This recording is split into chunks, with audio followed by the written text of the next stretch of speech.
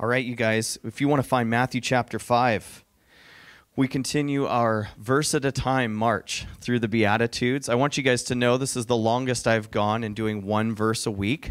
Uh, it's a challenge for me at times, but most of the time, um, it's more of a challenge for me to not be long winded, as strange as that sounds. Um, because there's so much that you can really go into and talk about when you take these focused looks, what we would call a deep dive into something like this. It's important to recognize that um, Jesus really is expounding on Old Testament teaching in a whole new way. Uh, he's showing that he is the fulfillment of the law, but there's so much to it.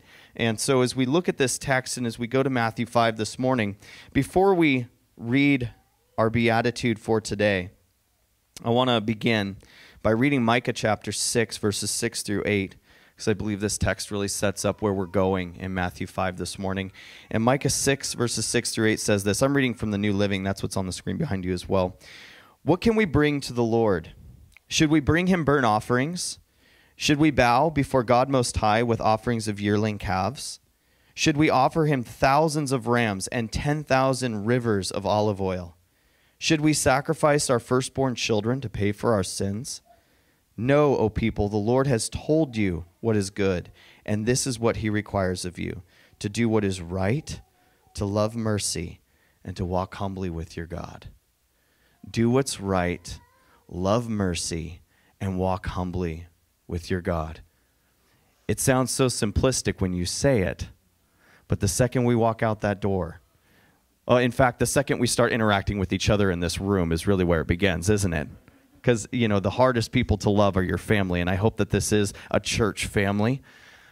But the most difficult people as we're going to talk about later to show mercy to are the people closest to us. And as we think about this you guys let's be really clear. To do what's right is that based upon your personal opinion?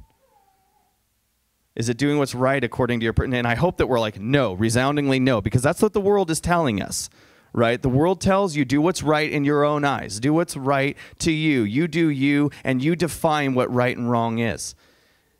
And if that's actually true, then chaos is the only thing that will reign in this world. And we know that that's not how God has done things. He has written on our hearts. We understand the difference between right and wrong. And so God is who defines what right is. And I know we know these things. I'm just, it's a setup. I'm just going to tell you ahead of time. This is a trap. I'm setting you up, okay? It's a trap. Okay, we're to do what God says is right. Now, we are to walk in that place, in walking in His rightness. You would call it God's righteousness. We are then to walk humbly with Him.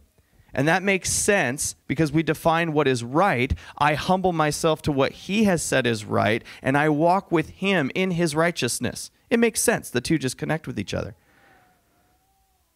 Both are common characteristics of a follower of Jesus, by the way. If you look at Scripture, if you follow Scripture, if you submit to Scripture, and I think they've been discussed a lot. Walking in humility with God, I've heard taught a lot.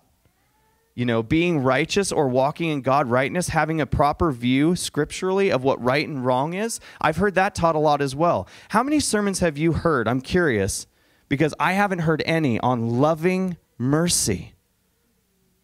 Loving mercy. Think about that. Do we love mercy? Is that something that defines us? Because if, if we see that it's important that we do what's right in the eyes of God, that we do what is right, and that we walk humbly with God, in the same breath, Micah writes, we should love mercy. This is something that the Lord requires of us, it says. If we love God, then we love mercy, and not only love the mercy He gives us every minute of our lives. Oh, I love that kind of mercy, don't you? I love it when God's compassionate towards me. I love it when God shows his favor towards me. I'm all about that. Do you realize that loving mercy is not just when God shows us mercy, it's that we love it enough to give to others? That we love mercy so much that we give it to others because we recognize that the vertical outpouring of God upon us creates a horizontal response if it's in truth. We immediately should respond in mercy to others. Now, this is where this gets really tricky. I don't like showing mercy. You're like, oh, terrible thing for a pastor to say. I know. It's why I struggle with the Beatitudes. It's why God is working me over when I read this stuff. Every minute of our lives, God is pouring out His mercy on us. And this mercy comes to define us as believers, not only in our relationship with Him, but how we treat others. How we show that mercy also defines us. The latter part of my statement that God pours out His mercy upon us, but our mercy to others defines us, cannot be absent from our lives. It cannot be absent. And I'm going to show you as we go through this text why the first four Beatitudes lead us up to this point. Because we're beginning the section of the Beatitudes that are people word, if you will. In other words, the first four are, are pr- primarily focused on our relationship with God. Poverty of spirit is some, a recognition of who God is. Mournful of my sin or grieving sin, that's also something that's between God and I. We start talking about humility or meekness. Blessed are the meek. That's something I take a position or humility in God's eyes. And that affects others, but it's primarily a relationship between God and I. And then I hunger and I thirst for his righteousness. But now we get to mercy. And blessed are the merciful. Do I show God mercy? No. Why would I show God mercy? He's perfect. He is holy. God's mercy, mercy is Murphy. Murphy's Law. God's mercy is one directional. It comes to me, right? I don't show God mercy. He is perfect. You know, like, well, cut God a break this week. you terribly misunderstand God. Like we all we all understand that. Do I show God grace? No. Does he show me grace? Also one directional. So when he says, Blessed are the merciful, we are talking about a relationship that is going peopleward. We're talking about relationships with one another. And so it's important for us to frame that into our mind before we go into Matthew 5 7 because Jesus continues to take us deeper. Jesus is going deep. And we talked about this at the onset of of, the Sermon on the Mount. There is so much about the Sermon on the Mount that people want to disqualify as not practical or achievable. And if you're looking at it in the eyes of your flesh, then you're right. You're absolutely right. But I can't help but think of what Paul says in Romans 8 when he says, Set your mind on the things of the Spirit. He says, You aren't under condemnation of sin any longer. Sin has no hold over us anymore in Jesus. So we are empowered by the Spirit to live this way because Jesus gave us the Spirit as a seal of redemption when He saved us from our sin. Amen? So we are empowered by the Spirit to live this way. Don't write this off. Don't set it aside and say, this is for someone else. Boy, Mike has a lot of problems. He needs to work them out. You're absolutely right. But in the same breath, this is a community thing that we have to face together and individually. Are we merciful individually? Are we merciful as a ministry, as a church, as a community of believers? Are we people who are defined by mercy? Okay, let's look at the one beatitude. It's so easy to tell you guys to look at the text, you're going to read like a few words. Matthew 5 7 says this Jesus continues the Beatitudes, which is better than a bad attitude. And he says in verse 7 Blessed are the merciful, for they will be shown mercy. Blessed are the merciful, for they will be shown mercy. Easy one to memorize. I would recommend it. Important to distinguish as we think about mercy and as we think about Jesus teaching about mercy. Mercy and grace are different things. However, oftentimes we interchange them. I think a lot of times we think about them in the same breath. In other words, if God has shown mercy to us, isn't that Him showing grace to me? So we need to frame these up a little bit because we need to understand the difference. The noun eleos, mercy, always deals with what we see of pain, misery, and distress. Eleos, when you see mercy is used, it's how we're responding to pain, to misery, and distress, the results, if you will, of sin. Mercy is dealing with results of sin. Okay, so we can think of it as in a channel in that direction. Grace or charis, which you may be familiar with, always deals with the sin and guilt itself. So when we're talking about God's grace, it's dealing with the sin directly or is being given to that specific sin. Mercy is being shown for the results of that sin. And the reason it's important to distinguish is because whereas mercy extends relief, grace extends pardon. Does that make sense? Mercy extends relief, grace extends pardon. While mercy cures, heals, and helps, grace cleanses and reinstates. So it's important to see the different properties because when we're talking about mercy, we're talking about compassion in a lot of this. We're talking about caring for people who are suffering because of sin. We'll get into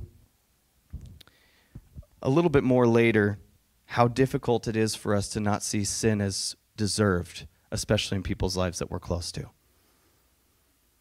I am terribly merciful towards myself when I'm suffering the results of sin. But when I look at other people, think about it. Don't you dare raise your hands. We're going to be in that place of, you know, well, so and so finally this happened, be like, well, they had that coming. Right? So often that's what we think of people. Oh, they had that coming. Well, you want to know why. And here comes the slander, and here comes the gossip, and here comes the lack of mercy. That's not the Lord.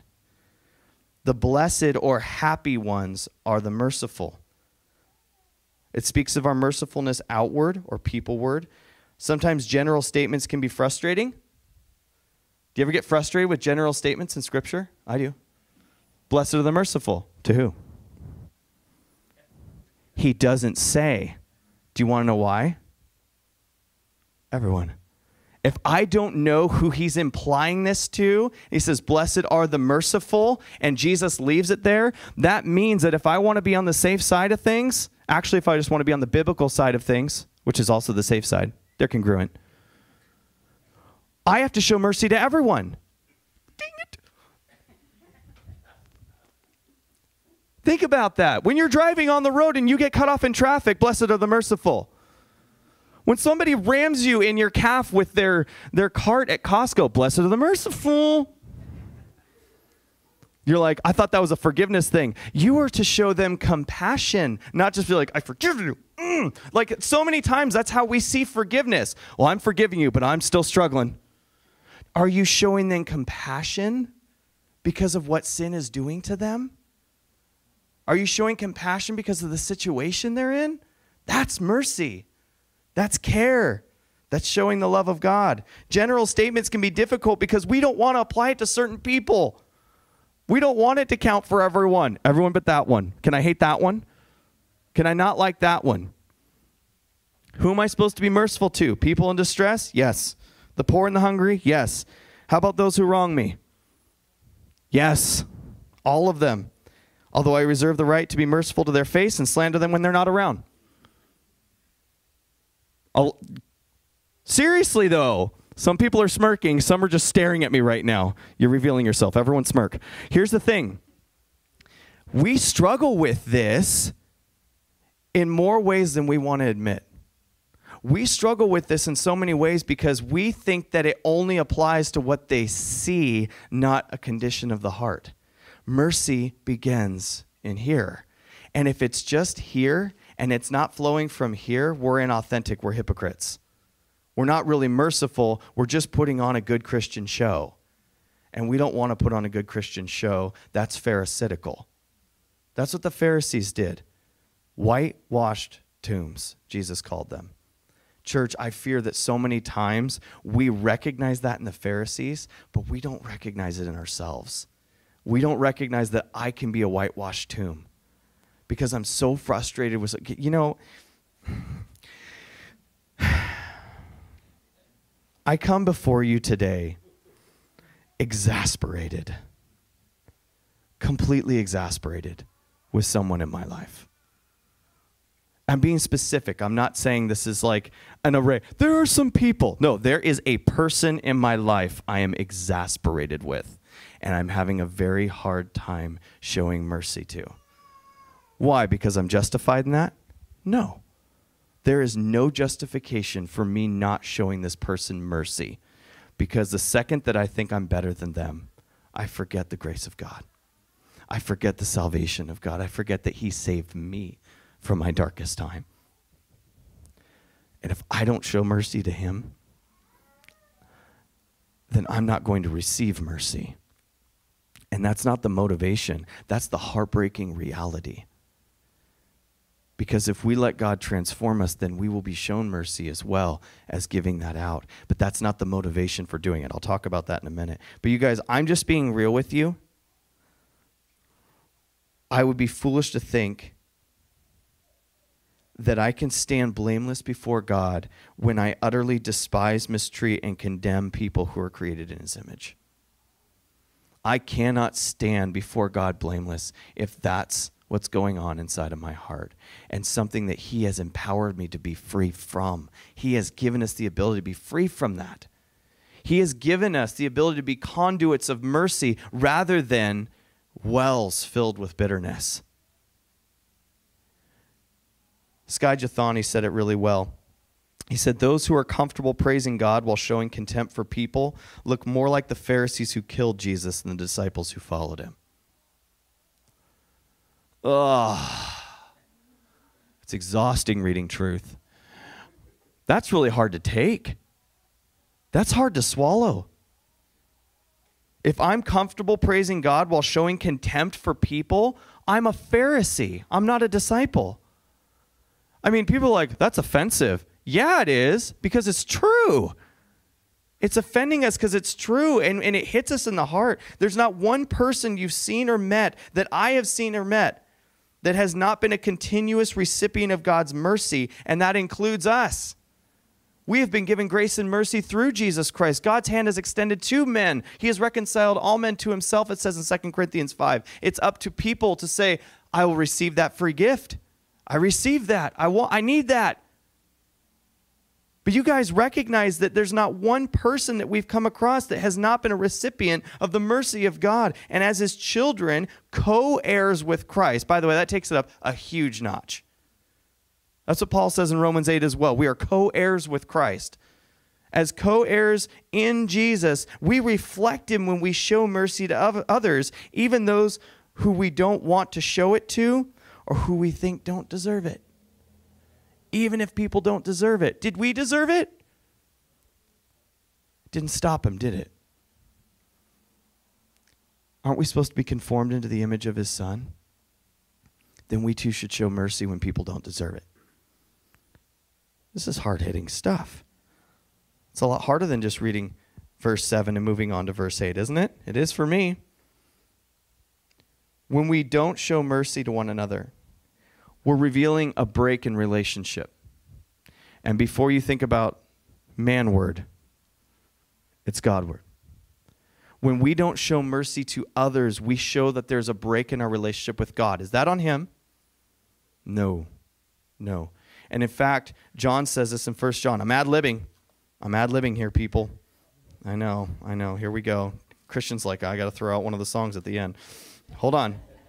Mike's ad libbing. 1 John chapter 1 verse 6 says this if we say we have fellowship with him and yet we walk in darkness we're lying and not practicing the truth you cannot walk in darkness and say you have fellowship with God. You're like, oh, did I just become unsaved? No, he said fellowship. You're not in fellowship with God. And what does he say to follow that up? If we walk in the light as he himself is in the light, we have fellowship with one another. Hold up. Did you notice that? If I'm walking in the light, I'm in fellowship with God. He's not dealing with that. He says we have fellowship with one another when we walk in the light. Our vertical relationship with God fixes our horizontal relationships with man and woman. Does that make sense? You guys, this is what he's getting across here. This mercifulness towards people. If I don't have it, something's broken here. Something's broken between God and I, and it's not on him. I have broken in fellowship with him. I need to come back, John chapter 13. Let him wash my feet again and be restored back to him.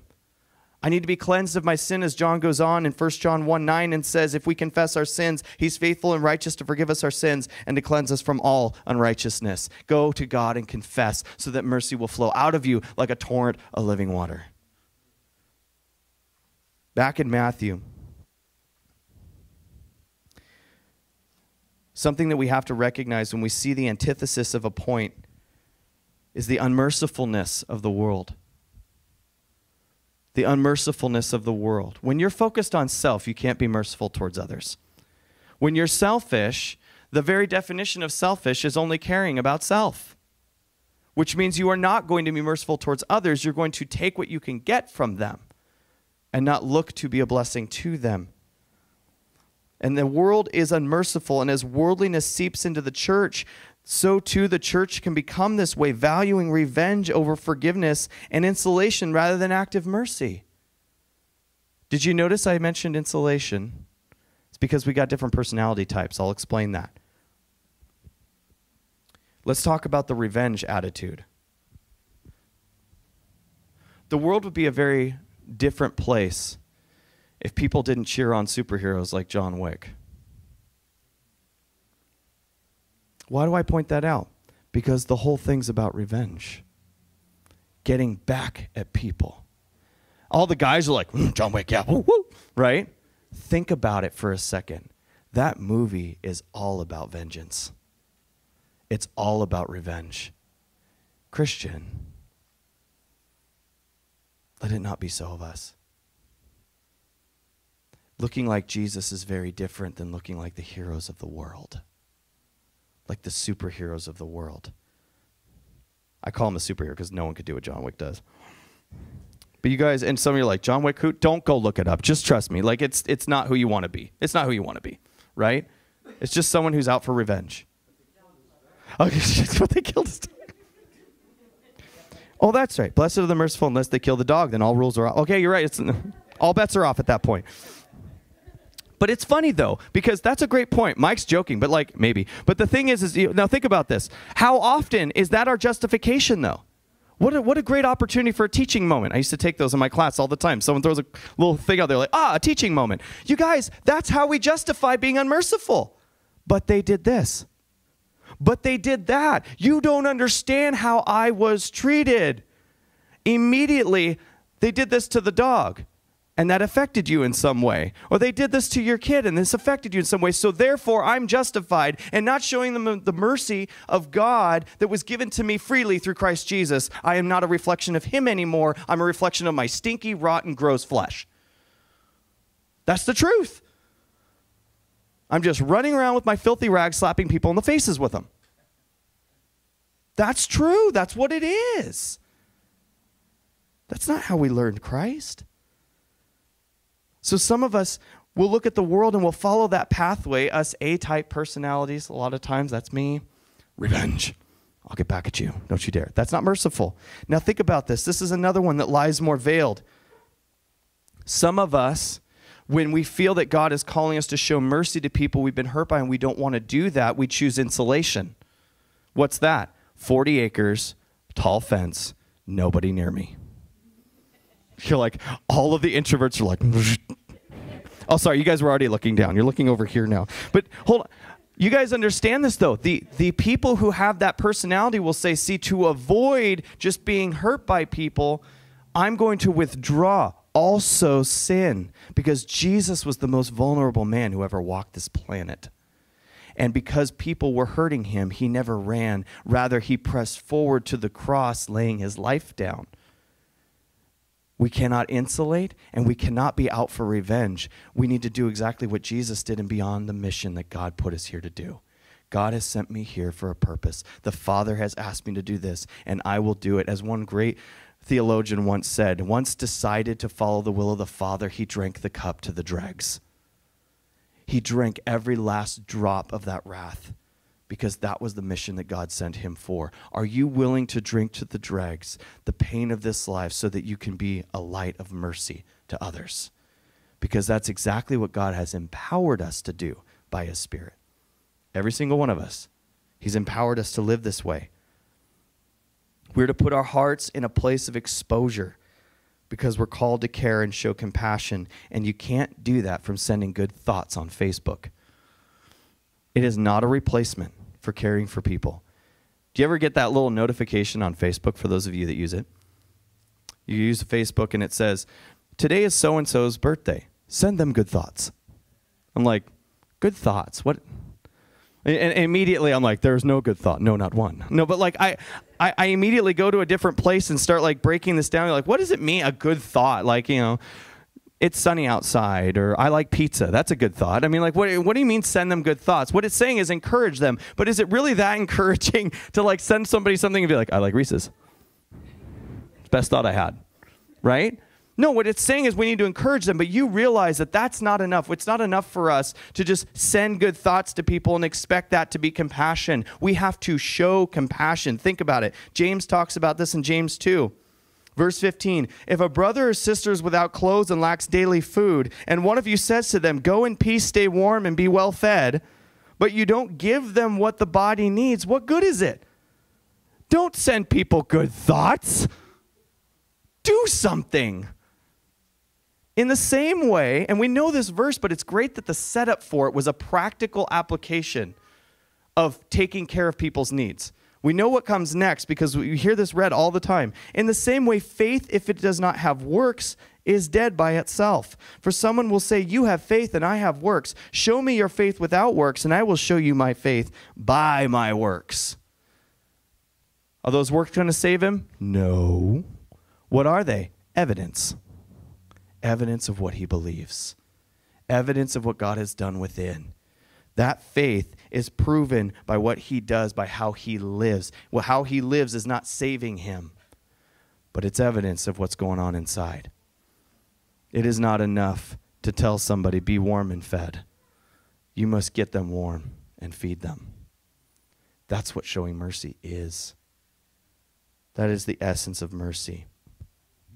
And those who are merciful will be shown mercy. And just to clarify, that's not our motivation. You know, well, I need some mercy.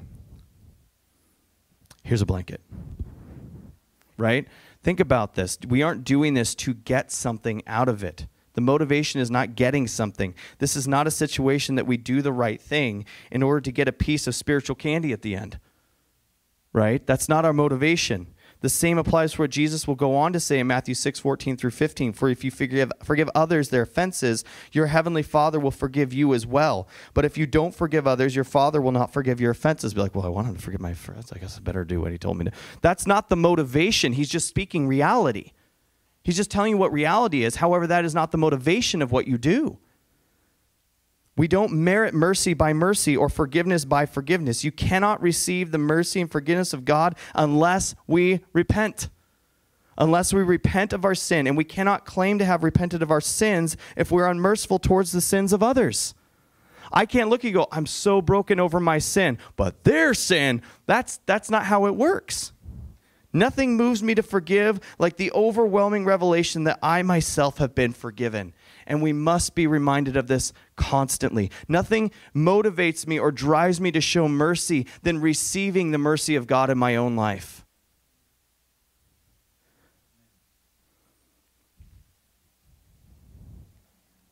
And receiving God's mercy is not a one time event, right? Receiving the mercy and the grace of God is happening all the time. Why? Because I live in this gross fleshly body that's decaying and I live in a world that is reeking of sin. And so mercy and the mercy of God is needed all the time. Indeed, as Jeremiah writes in Lamentations 3 22 and 23, because of the Lord's faithful love, we do not perish, for his mercies never end. His mercies never end. They are new every morning. Great is your faithfulness. We sang it in the song this morning. Great is your faithfulness. His mercies never end. And in the same way, Jesus calls us to not only receive the mercy of God fresh every morning, but to offer it as well. My mercy for others should renew every morning. Do we think about loving mercy from Micah 6 8 and blessed are the merciful in that context? That when the mercies of God renew every morning for us, ours should renew for our fellow people? My mercy should renew in the morning for these people. And boy, do we need it. Parents, can I get an amen? Right? Because I need mercy for my kids every morning. Why? Because something will be broken, something will be spilled, someone will be offended, someone's falling down the stairs, and it's someone else's fault. Like something's going to happen. Five kids in the house, calamity happens. I need God's mercy every morning, and they need my mercy every morning. And I need theirs. Do you ever think about that? We need the mercy of our family as well. If we teach our children to be merciful, you realize that we need them to show us mercy as well. Why? Because contrary to your parental poll that you took by yourself with a vote of one, you're not always right. And you're not always going to do it right or be perfect. There is no perfect grandparent, although they pretend like they are. There is no perfect parent, although they no, they're not. They're just lying. But here, here's the thing: like we we need the mercy of our, of our children as well. Parents, can I give you just a tiny little encouragement? Ask your kids for forgiveness when you do something wrong. You want to know why? Because it's right and because they're to they're going to learn from you. They're going to learn from you that if you value forgiveness and if you value brokenness and being humble, they will follow suit. They're just doing what you're doing. We have to be transformed by the mercy of God in the same way that we're transformed by his forgiveness. And there's some questions we need to ask ourselves at this point. And I just want to put these out there for you to consider. How has the mercy of God transformed me? Spiritually, mentally, emotionally, and physically. How has the mercy of God transformed me? Am I merciful to the wretched? Whatever that wretched is. Am I merciful and tenderhearted towards the broken?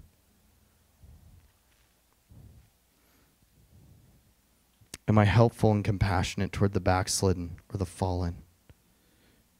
Too easy?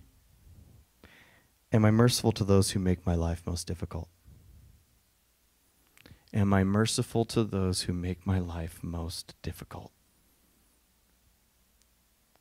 I, am reading a book called Faithful Leaders by Rico Tice. I just finished it yesterday. And, and it's one of those books that you just set down and go, because he's not pretending to have all this down. I just hate that he's calling out my flaws on every single page and and there's grace. It's not like you know you're trash, pastor. It's like no, I, I just my wife says that, but I I feel like there, I'm kidding, not all the time. I feel like there's there's this there's this um this weight sometimes to reading this this brutal honesty from other pastors, this brutal honesty about how difficult it is to be in leadership. And he said basically this. He's like, Pastor, do you think you're loving? How well do you love the person who makes your life the toughest? How well do you love that one person that makes your ministry or your life miserable? Oh, not well. Terribly. Is there a human blender out there? I mean, like, I, I, there's all these thoughts for people like, I just want, I can't handle it. It's overwhelming to me. Some of you are so much more gracious than I am. So you're like, well, you know, this person did this to me and you just got to love them. I'm like, do you mean that? like like could you please show your heart to me i want to know if you mean that because if you do we need to spend a lot of time together and that's actually really good advice we should spend time with people who can teach us more in that way god gives us each other in community so we can learn from each other's humility so we can learn from each other's mistakes so that we can build one another up bear one another's burdens galatians 6 2 that's why we have each other are we perfect but we have Jesus. And we can encourage each other with that. It's incredible to me as we close this out how ap- the application of the first four Beatitudes comes into play here in the fifth as we look at Blessed are the Merciful.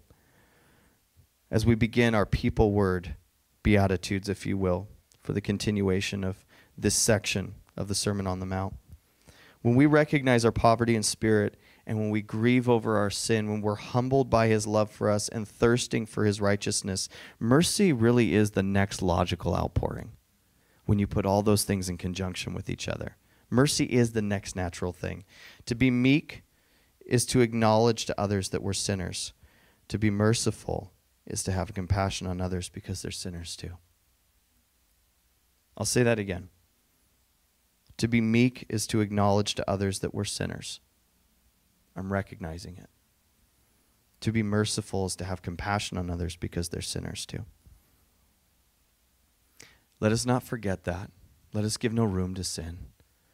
Let us fight our sin. Let us battle against it. Let us be brutal with it, as Paul calls us to. But let us always remember that God calls us to be compassionate to those who are in the same fight, who are in the same struggle. And what a ministry this would be if we just obey what Jesus teaches us here in the Beatitudes. If we could take these 10 verses and if we would just apply them to our ministry in every aspect. I mean, there's so much more. You're like, really, just this, just those? T-? No, I'm just, I'm just throwing it out there. If we just, basically, what I'm saying is, if we just lived what Jesus said, this church would be as effective as He desires it to be, as glorifying to His name as He has called us to be. And I hope that that's the road that we're going down. Sanctification is not easy. It's like putting gold into a furnace. You're like, that doesn't sound very nice. No, but it's the only thing that brings the dross out. It's the only thing that draws impurity out is fire. And He is proving us by fire. He's refining us, He's sanctifying us. Church, the best part is, according to Philippians 1 6, we come out on the other side gold. Because of the day of Christ Jesus, He will complete the work that He has began in us. And so let's entrust Him for that. Church, let's show mercy to each other, but not because we have to, because He has shown mercy to us. Father, as we contemplate, as we consider what these verses mean in our personal lives, Lord, you, you didn't have a selection of meaning. This has one meaning, but many applications. You meant one thing when you said this, but it applies to our lives in so many dynamics and addresses so many things that we're going through right now. Lord, I can think of of decades of struggle in some areas of showing mercy and I can think of something as recent as this week that I'm struggling with and Lord it's not it's not sin that I am enslaved to. So, Lord, would you cleanse us again? As we just take a moment and as we pray and as we seek your face and as we sing your praises, Lord, I ask that in this moment right now that you would make us aware individually of the sin, whether that's a sin of being unmerciful, Lord, or whether it's something deeper entrenched, maybe it's pride, maybe it's lust. Lord, maybe it's envy, covetousness, God, whatever it is that we've been struggling with. I pray, Lord, that we would name it in our own hearts, that we would name it and we would ask for you to forgive us of this sin, that we would repent of it, and that you would pour your Holy Spirit fresh into us, wash our feet. Lord, so that as we walk in the light, we might have fellowship with one another and Jesus recognizing that your blood is what cleansed us and continues to cleanse us from sin. Because you paid for our sin, past, present, and future. And Lord, I don't want future sin. I don't want any part of it. Whatever way you're forging us, whatever way you're purging us, help us to see that your discipline is good and it's for those that you love that we would strengthen our weak knees and straighten our backs and walk humbly with you. Teach us to love mercy. And Lord, we thank you for your word. Work in us as we worship, Lord.